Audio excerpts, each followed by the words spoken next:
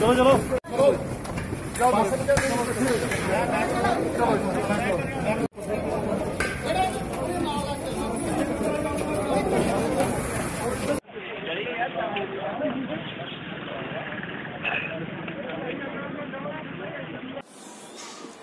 आज कठुआ गैंगरेप और murder case में हमने पठानकोट में सप्लीमेंट्री चार्जशीट फ़ाइल की है, जिसमें medical reports, forensic lab reports and call details हमने आज कोर्ट में दी हैं और 132 गवाहों को और हमने साथ इसमें रखा है।